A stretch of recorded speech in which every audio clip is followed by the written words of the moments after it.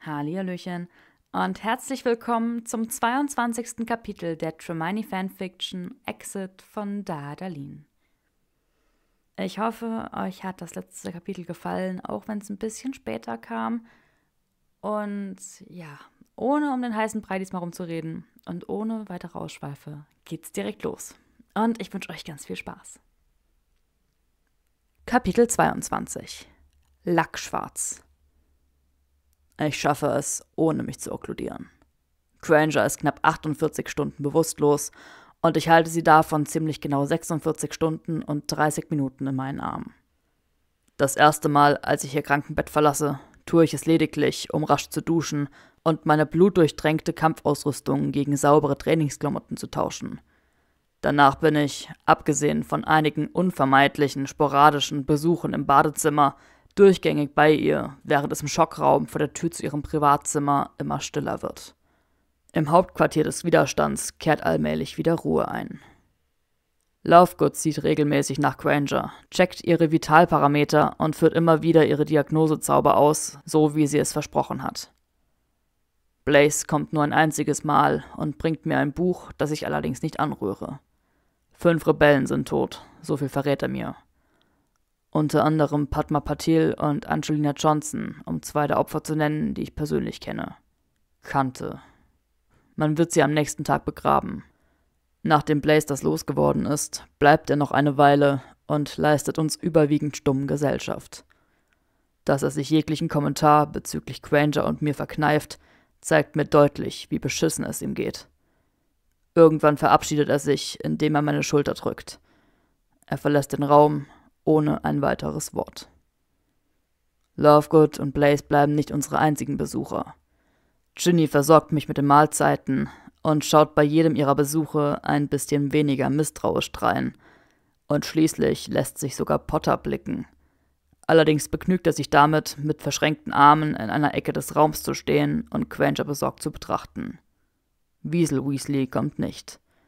Ob das seine eigene Entscheidung ist oder die anderen ihn schlichtweg nicht reinlassen, hinterfrage ich nicht. Ich für meinen Teil starre fast die gesamte Zeit über an die Decke, wechsle manchmal unsere Position, um meinen protestierenden Rücken zu entlasten, und hänge hauptsächlich meinen düsteren Gedanken nach. Granger hatte verdammt nochmal recht.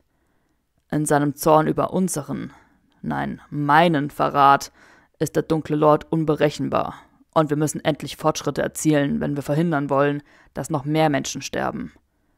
Ich fühle mich verantwortlicher als jemals zuvor, und das ist kaum ertragbar. Als Granger sich zum ersten Mal bewegt, liegen wir beide auf der Seite und ihr Rücken ruht an meiner Brust.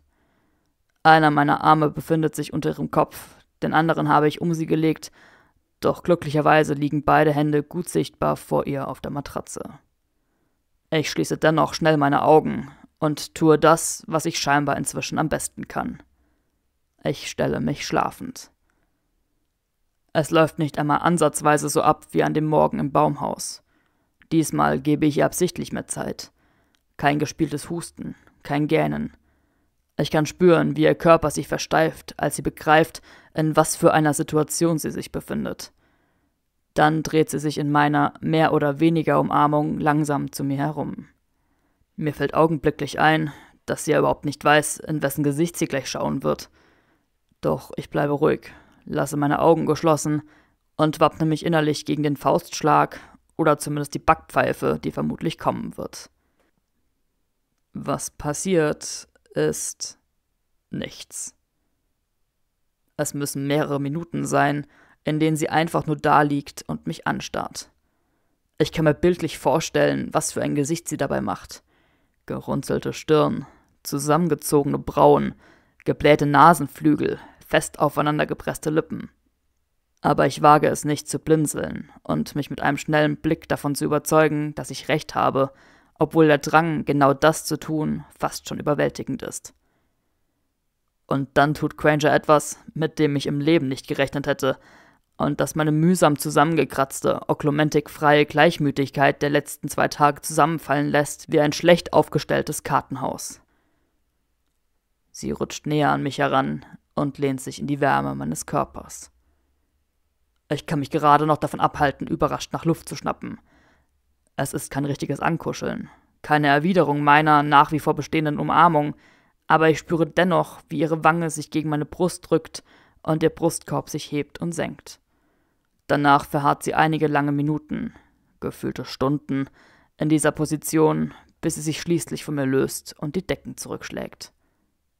Sie steht auf, langsam und vorsichtig, wahrscheinlich um erst einmal zu testen, ob ihre Beine ihr überhaupt noch gehorchen. Dann erklingen ihre zögerlichen Schritte auf dem Linoleumboden, der im gesamten Schockraum ausgelegt ist. Ich öffne meine Augen erst, als die Tür ins Schloss fällt. Der nächste Tag hält gleich mehrere Überraschungen für mich bereit. Die erste kommt in der Form eines unverhofft belauschten Gesprächs zwischen Lovegood und Longbottom, als ich nach dem Mittagessen auf dem Weg zu meiner Unterkunft bin. War wirklich nicht wütend auf dich? erklingt Longbottoms Stimme ungläubig, als ich gerade die Milchglastür des Schockraums passiere. Obwohl ich instinktiv weiß, dass diese Unterhaltung nicht für meine Ohren bestimmt ist, bleibe ich aus einem Impuls heraus mitten im Gang stehen und spitze genau diese. Nein, ich habe ihr die Auswertungen meiner Diagnosezauber gezeigt, antwortet Lovegood mit ihrer unverkennbaren, glockenhellen Stimme. Ich denke, das hat sie ein wenig besänftigt. Wieso das? Abgesehen von den Nachwirkungen des Fluchs waren es ihre besten Parameter seit Jahren. Sie hat bei keiner der quartalsmäßigen Routine-Check-ups jemals so gute Ergebnisse erzielt. Nun, sie war bewusstlos, oder? wirft Longbottom vorsichtig ein. Oh, ich meine nicht nur ihren Ruhepuls und ihre Atemfrequenz, flötet Lovegood. Auch die anderen davon unabhängigen Werte. Die Hormonausschüttung zum Beispiel. Warum hast du die denn überhaupt kontrolliert? fragt er verwirrt. Ich wollte einfach sicher gehen, dass ich mich nicht geirrt habe, schätze ich. Lovegood räuspert sich leise, und als sie das nächste Mal spricht, klingt es so, als wäre sie mittlerweile viel näher an der Tür. Ich trete erschrocken einen Schritt zurück. Ich hatte mir schon gedacht, dass sich ihr Körper in Dracos Nähe wohlfühlen würde, und ich bin froh, dass er eingewilligt hat, bei ihr zu bleiben. Sie lässt nie jemanden an sich heran, und das ist verdammt ungesund. Jeder braucht jemanden, weißt du? Ich bezweifle zwar stark, dass Malfoys Nähe für irgendjemanden gesund ist, Liebling, aber ich bin trotzdem neugierig. Wie kommst du darauf, dass es sich bei ihm wohlfühlt? Lovegood stößt ein leises, amüsiertes Lachen aus. Neville, ich bitte dich. Die Körpersprache zwischen den beiden ist so deutlich, dass es mich wirklich erstaunt, dass es bisher kaum jemandem aufgefallen ist. Es ist geradezu lächerlich offensichtlich. Ich habe Blaze danach gefragt und er hat mir zugestimmt. Und abgesehen davon, was denkst du, warum sie dieses Schutzschild vor ihn geworfen hat? Hast du Ron überhaupt zugehört, als er bei der Nachbesprechung erzählt hat, was da draußen geschehen ist? Es herrscht eine ganze Weile Stille und ich balle die Hände unwillkürlich zu Fäusten. Nun, du willst mir also ernsthaft weismachen, dass Hermine Pack mich an und ich töte dich, Granger, neuerdings eine Schwäche für ausgerechnet Draco Vorzeige Todesser Malfoy hat, schnaubt Longbottom irritiert. Nenn ihn nicht so, murmelt Lovegood sanft, und es erklingt ein Geräusch, das mir verrät, dass sie ihm einen Kuss gibt. Dann höre ich wieder ihre Schritte, diesmal lauter und deutlicher. Überzeug dich selbst. Wir sehen uns später, ja? Ich setze mich sofort in Bewegung und biege um die nächstbeste Ecke, nur um mich dort mit rasendem Herzen und wildkreisenden Gedanken gegen eine der blanken Betonwände zu lehnen. Jetzt ist es quasi offiziell. Diese seltsame Spannung, diese Anziehung zwischen mir und Granger ist alles andere als ein Hirngespinst meinerseits. Die zweite Überraschung erwartet mich drei Stunden später beim nachmittäglichen Kampftraining, von dem ich annehme, dass es am heutigen Tag entweder von Ronald Weasley oder von Blaze geleitet wird. Genau aus diesem Grund bleibe ich wie angewurzelt stehen, als ich Granger auf der bereits gut gefüllten Duellierfläche entdecke. Sie steht genauso lässig da, wie ich es von ihr gewohnt bin, obwohl sie nach wie vor blass und die Finger, die sie in ihr Schulterholster gehakt hat, immer noch leicht bläulich sind. Merlin, kann diese Hexe sich nicht einmal zwei Tage Ruhe gönnen, bevor sie wieder in den Ring steigt, nachdem sie gerade erst verflucht wurde? Ganz offensichtlich nicht, Denn als die letzten Rebellen in den Raum schlüpfen, fängt sie sofort an, Anweisungen auszuspucken und Teams einzuleiten. Wenigstens, so stelle ich ein wenig besänftigt fest, hat sie heute scheinbar nicht vor, sich selbst an der Zauberei zu beteiligen. Malfoy? ruft sie plötzlich brüsk, woraufhin ich zusammenzucke. Auf ein Wort. Ich seufze, folge aber dennoch langsam zum Sportraum, auf den sie zielstrebig zusteuert. Mir schießen direkt mehrere mögliche Szenarien durch den Kopf, und ich ertappe mich dabei, dass die meisten davon etwas damit zu tun haben, dass sie ihre verführerischen, wenn auch blauen Lippen auf meine presst. Ich schiebe die Bilder vehement von mir. Falscher Zeitpunkt. Nachdem ich den Sportraum betreten habe, fällt die Tür ins Schloss und wir sind allein. Sie dreht sich zu mir herum und starrt mich mit einer absolut undeutbaren Miene an. Ich hebe langsam eine Augenbraue, entlocke ihr damit aber keine Reaktion. Wie geht es dir? presse ich schließlich hervor, um die erdrückende Stille zu brechen. Gut genug, antwortet sie leichthin. Sie räuspert sich kurz, bevor sie weiterspricht. Du hättest das nicht tun sollen. Einige Sekunden sehe ich sie fassungslos an, denn damit habe ich in der Tat nicht gerechnet. Wie bitte? frage ich verwirrt. Ich kann quasi mit ansehen, wie sie sich vor meinen Augen verschließt. Ihre Schultern werden steif, ihre Iriden unmerklich dunkler und ihre Körperhaltung abweisender. Sie verschränkt sogar die Arme vor der Brust und hebt das Kinn. Es wirkt ein wenig trotzig. Es ist der Moment, in dem mir klar wird, dass Granger zwar keine Oklumentik beherrscht, aber im Grunde exakt dasselbe tut nur auf die nicht magische Weise. Nun, ich meine mich daran zu erinnern, du hättest gesagt, du willst mich nicht anfassen. Was hat dich dazu gebracht, deine Prinzipien über Bord zu werfen? Wut. Oh, sie ist wirklich eine Expertin dafür, dieses Gefühl in mir auszulösen. Mein Kiefer spannt sich an und ich spüre einen Muskel in meiner Wange zucken. Ich habe dich nicht angefasst. Ach, und wie würdest du es dann bezeichnen, was du ich bin mit zwei großen Schritten bei ihr und baue mich bedrohlich vor ihr auf, womit ich sie erfolgreich zum Schweigen bringe. Sie weicht zwar nicht vor mir zurück. Die Zeiten, in denen Granger sich von mir hat einschüchtern lassen, sind seit mindestens sieben Jahren vorbei. Aber sie muss den Kopf in den Nacken legen, um mir weiterhin ins Gesicht sehen zu können, was zumindest eine kleine Genugtuung ist. Oh nein, das machst du nicht mit mir, Granger. Vergiss es. Darauf kann ich verzichten, zische ich ihr ins Gesicht. Wenn ich nicht genau wüsste, dass ich es um keinen Preis tun darf, dann würde ich sie vermutlich an den Oberarmen packen und schütteln. Aber ich reise mich zusammen. Wag es ja nicht, die Wahrheit zu verdrehen, nur um dich besser zu fühlen. Ich verdrehe nicht. Halt den Mund, unterbreche ich sie abermals schneidend und nehme leicht erstaunt zur Kenntnis, dass sie es tatsächlich tut. Ihre Lippen bilden einen schmalen Strich. Ich überspiele meine Überraschung und spreche einfach weiter. Du hast mir da draußen das Leben gerettet, verdammt. Nur Merlin weiß, was du dir dabei gedacht hast, deine Verteidigung ausgerechnet dafür, für mich aufzugeben. Und ich schwöre dir, wenn du noch einmal so blöd bist, das auch nur in Erwägung zu ziehen, dann bringe ich dich eigenhändig um. Mein Herz rast und meine Zunge auch. Ich spucke die Worte aus, bevor ich darüber nachdenken kann, ob es wirklich klug ist, irgendetwas davon zu sagen. Aber ich kann nicht anders. Granger treibt mich einfach zur Weißglut. Ich wusste ein paar Stunden lang nicht einmal, ob du wegen mir auf dieser gottverdammten Straße verreckt bist. Weißt du, wie beschissen sich das angefühlt hat, Granger? Hast du überhaupt irgendeine Ahnung? knurre ich, während meine Hände an meinen Seiten zucken, weil ich sie gerade am liebsten wegstoßen oder an mich ziehen würde, um irgendeinen Standpunkt deutlich zu machen, um mir zu zeigen, wie aufgewühlt ich bin. Wie hätte ich mir das verzeihen sollen? Hm. Ich habe nur versucht, es irgendwie gut zu machen, dass du deinen Kopf für mich riskiert hast. Also wage es ja nicht. Wag es nicht. Ausgerechnet das zu verwenden, um mich zu bestrafen. Oder sollte ich eher sagen, um dich selbst zu verarschen? Sie starrt mich erschüttert an und stößt ein leises, atemloses Geräusch aus, das wohl höhnisch klingen soll, seinen Effekt allerdings vollkommen verfehlt. Ihre dunklen Augen huschen angespannt zwischen meinen hin und her. Ich erlaube mir einen kurzen, schnappartigen Atemzug, bevor ich meine Tirade fortsetze. Und du wusstest, dass so etwas passieren könnte. Habe ich recht? grolle ich und hebe eine Hand, um zuerst auf sie und dann auf mich zu deuten. Meine Stimme überschlägt sich fast.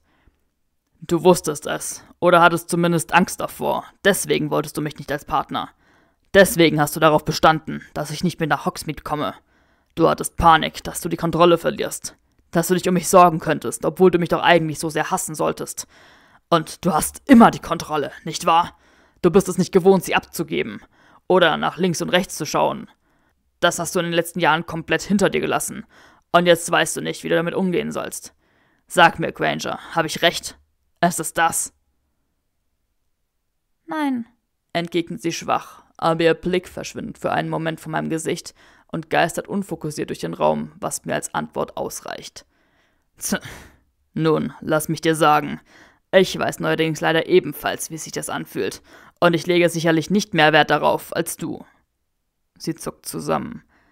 Es ist das erste Mal, dass ich sehe, wie sie zusammenzuckt. Aber darüber hinwegzugehen und sich die Wahrheit auf Kosten des jeweils anderen zurechtzulegen, nur um sich selbst besser zu fühlen, ist eine ziemlich abgefuckte Lösung. Also wag es ja nicht. Und mit diesem letzten, mühsam hervorgepressten Satz drehe ich mich herum und verlasse mit langen Schritten den Sportraum und auch den Duelliersaal. Ich lasse das gesamte Training sausen und werfe keinen Blick zurück. Ich habe kein Danke von Granger erwartet. Vielmehr hatte ich vor, mich bei ihr zu bedanken. Oder zumindest so etwas in der Art. Aber ihre defensive Reaktion hat mich so sehr aus dem Konzept gebracht, dass für Dankbarkeit gar kein Platz mehr ist. Das, was ich stattdessen verspüre, ist mir so fremd, dass ich den gesamten Weg bis zu meiner Unterkunft benötige, um es einzuordnen. Es ist Kränkung. Ihr Verhalten hat mich verletzt. Es ist schon spät, als es an der Tür meiner Unterkunft klopft. Ich bin immer noch wach, liege nur in Boxershorts und Socken auf meinem Bett und studiere ein paar der Aufzeichnungen mit den neuen Informationen von Daphne und Pansy, die Potter mir großzügigerweise überlassen hat. Ja, mache ich gedehnt, ziehe die Augenbrauen zusammen und blinzle durch das schwache Licht der Nachttischlampe in Richtung Tür.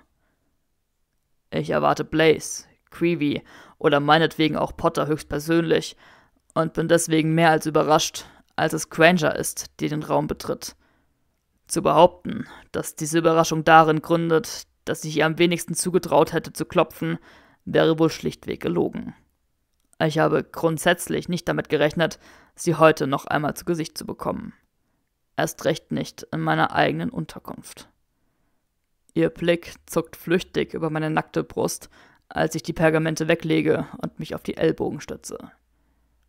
Ich beobachte sie argwöhnisch, während sie langsam und stumm durch den Raum wandert.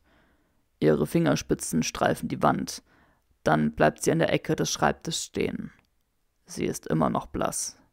So verdammt blass. Warum bist du hier, Granger? frage ich gerade heraus. Es klingt fast schon erschöpft. Ich bin tatsächlich zu müde, um mich heute noch mit dir zu streiten. Seltsam. Immer sind es diese Abende, die sie sich aussucht, um mich aufzusuchen. Mich hat schon lange niemand mehr so zusammengestaucht wie du, musst du wissen, informiert sie mich ruhig, ohne auf meine Frage einzugehen. Wieder erwarten klingt es nicht vorwurfsvoll oder gar so, als würde sie eine Entschuldigung dafür verlangen, die sie allerdings ohnehin nicht bekommen hätte, sondern lediglich absolut neutral. Ich betrachte milde verwirrt ihr Gesicht. Wenn ich es nicht besser wüsste, würde ich behaupten, eine leichte Verunsicherung in ihren Augen zu erkennen. Doch abgesehen davon ist ihre Miene sorgfältig verschlossen. Sie erwidert meinen Blick aus dunklen Augen, was wohl hauptsächlich daran liegt, dass sie sich so weit von meiner Lampe entfernt positioniert hat, wie nur irgend möglich. Ich erkenne kein Funkeln darin, kein Glitzern, keine Spiegelung. Absurderweise macht mich das nervös. Ich nehme an, ich sollte mich bedanken, fährt sie schließlich emotionslos fort. Einer ihrer Finger tippt dabei einen unruhigen Takt auf dem lackschwarzen Holz der Schreibtischplatte. Luna hat mir gesagt, dass es gut für mich war, dass jemand bei mir geblieben ist. Nun, jetzt hat sie mich wirklich erwischt. Als mir bewusst wird, dass ich sie gerade ziemlich fassungslos anstarre, schließe ich rasch den Mund. Sie hat es zwar fertiggebracht, nicht auszusprechen, dass es gut war, dass explizit ich bei ihr geblieben bin, aber ich vermute, dass diese zwei Sätze aus ihrem Mund einer Entschuldigung-Danke-Kombination dennoch ziemlich nahe kommen. Ich weigere mich allerdings, es darauf beruhen zu lassen. Und nimmst du nur an, dass du es solltest, oder tust du es auch? stichle ich herausfordernd und hebe langsam eine Augenbraue. Granger verlagert ihr Gewicht auf das andere Bein. Ihre Trainingskleidung raschelt leise.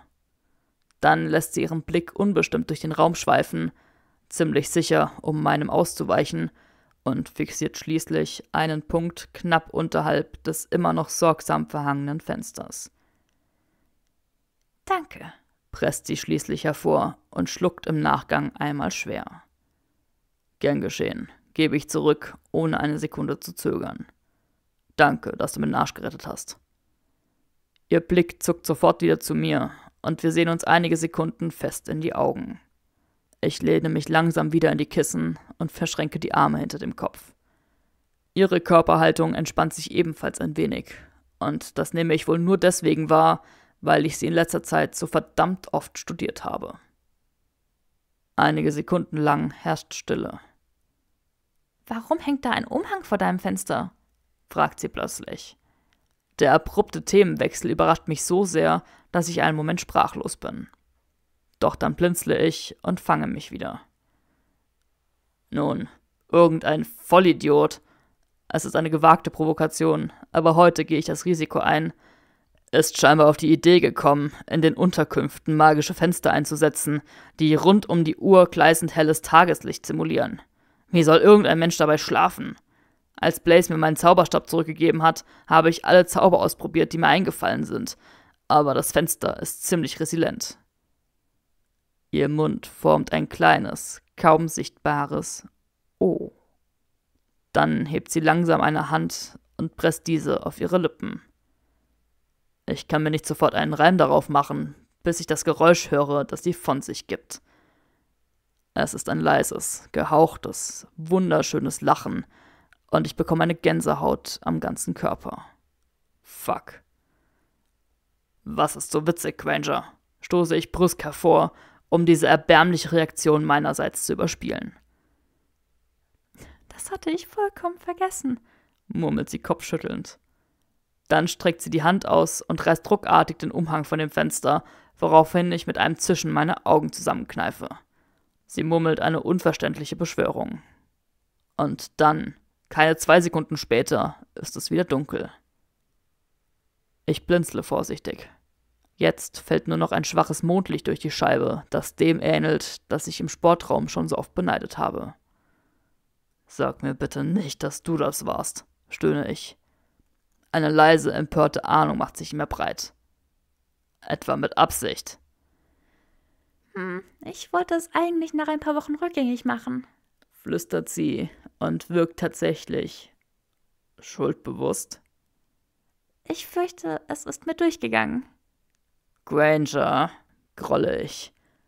Ich schwöre, es sollte nicht dauerhaft sein. Sie lacht noch einmal. Rückblickend betrachtet eine ziemlich kindische Idee, das gebe ich zu. Ich fahre mir resigniert durch die Haare, bevor ich sie kopfschüttelnd ansehe. Dir ist bewusst, dass das eine Foltermethode ist, oder? dauerhaftes Licht, das keinen vernünftigen Schlafrhythmus zulässt. Du bist eine grausame Hexe. Sie wendet sich mir wieder zu und plötzlich schlägt die Stimmung um. Die Luft in dem Raum ist auf einmal so dick, dass ich das Gefühl habe, man könnte sie in Scheiben schneiden. Jegliche Leichtigkeit verfliegt. Grangers Augen liegen fest auf mir, samt meinem nackten Oberkörper, und diesmal kann ich ihre Miene lesen. Ich atme tief ein und halte die Luft an. Warum bist du hier, Granger? Wiederhole ich meine Frage von vorhin, und jetzt ist es fordernd, unbarmherzig, auch wenn ich vermute, dass sie mir dann noch keine richtige Antwort geben wird. Sie atmet ebenfalls tief durch. Die Finger ihrer einen Hand spielen in einer reflexartigen Übersprungshandlung mit dem Rand der Schreibtischplatte. Die andere Hand wischt eine Haarsträhne, die überhaupt nicht da ist, von ihrer Wange. Dann öffnet sie wieder die Lippen. Mir ist immer noch kalt, flüstert sie. Ich starre sie an. Eine Sekunde. Zwei. Drei. Vier. Muss mir sogar auf die Zunge beißen, um zu verhindern, dass irgendetwas Dämliches aus meinem Mund platzt, was mit Sicherheit alles an dieser unfassbar fragilen Situation kaputt machen würde. Mein Blick wandert forschend zwischen ihren Augen hin und her, doch diesmal hält sie ihm stand. Ich atme stoßartig aus, schlage die Bettdecke zurück und verschränke dann wieder beide Arme hinter meinem Kopf. Komm her, verlange ich und kann selbst hören, wie dunkel und rau meine Stimme dabei klingt. Fast so, als wäre es ein Befehl. Und Granger gehorcht. Ihre Füße setzen sich sofort in Bewegung. Im Gehen kickt sie ihre Boots weg, erst den einen, dann den anderen. Ihr Zauberstab landet samt Unterarmholster auf meinem Nachttisch. Als ich sehe, wie ihre Hände zu dem Knopf ihrer Cargohose fliegen, muss ich die Augen schließen. Oh nein, oh nein, oh nein. Ich kann sie erst wieder öffnen, als sie hör und spürbar unter die Decke schlüpft. Ich danke allen Göttern dafür, dass sie wenigstens ihr Langarmshirt angelassen hat. Und dann ist sie da, schmiegt sich mit der vollen Länge ihres kleinen, zerbrechlichen Körpers an mich. Einer ihrer Arme schlängelt sich über meinen Bauch, ihr Kopf landet halb auf meiner Brust, halb auf meinem angespannten Bizeps. Und fuck, ich bin so froh, dass meine Hände hinter meinem Kopf verschränkt sind, denn ich kann ihnen nicht mehr trauen. Mein Herz rast in meiner Brust. Aber ihres auch. Ich kann es deutlich spüren. Und das ist zumindest ein schwacher Trost. Ich starre angestrengt an die Decke, atme tief durch und ignoriere die weiche Haut ihres nackten Beins an meinem Unterschenkel. Drei Überraschungen. Ein seltsamer Tag und mindestens drei verwirrende Überraschungen. Ich bin nicht mehr wütend. Ja, und mit dem nicht mehr wütenden Draco sind wir jetzt am Ende des Kapitels angelangt. Ich hoffe, euch hat die Hermione Power in diesem Kapitel genauso gut gefallen wie mir. Ha, ich lieb's. Und ja, mal schauen, was jetzt daraus in den nächsten Kapiteln wird. Ich wünsche euch eine wunderschöne Woche und hoffentlich bis nächsten Montag. Ganz liebe Grüße, eure Kauli.